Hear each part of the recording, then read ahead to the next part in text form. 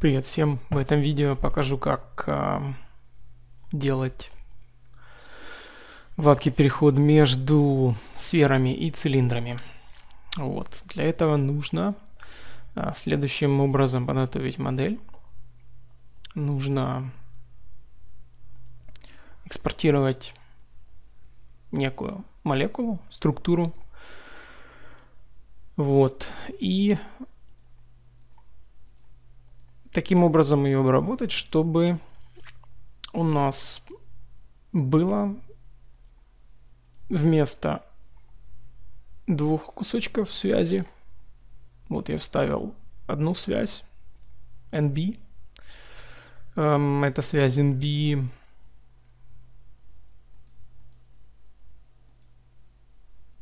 Нет, Значит, э, вот она находится, связь NB, это цилиндр фактически. Э, важно, что он с крышками. Эм, по э, окружности он имеет 36 сегментов и, значит, назвал его NB и поместил в систему координат, которую сгенерировал плагин Voxel. Вот, собственно, так это выглядит.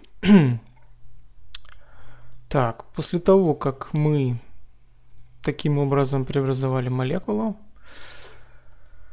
я создал uh, mesh, сетку. Вот. Все остальное можно удалить после этого. Это наша сцена. Пока она нам не нужна. Это оригинальная молекула. Вот, и после этого можно применять плагин Smooth. Вот, собственно, этот плагин.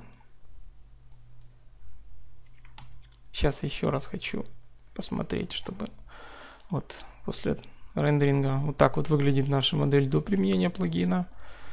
И вот так вот, секунду, вот так вот она выглядит, собственно, после применения плагина.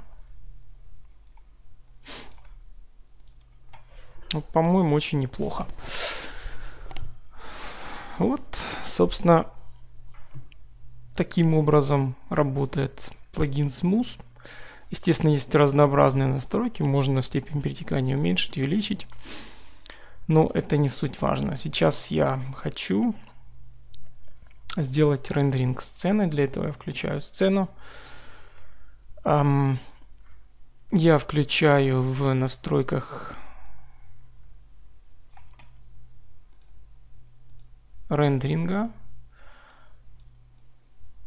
Хочу включить э, такие параметры, как э, Global Illumination, такой параметр, как э, Depth of Field.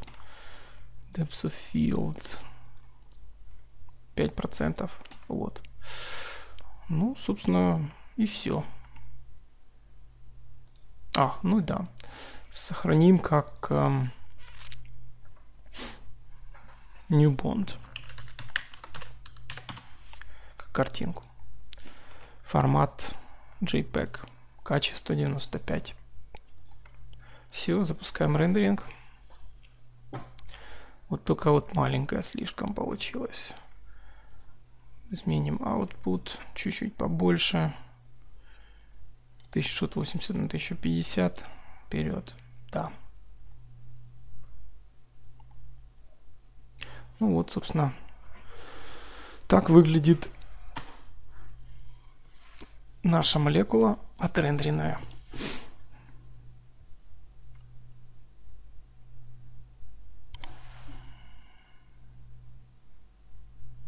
Вот, собственно, результат.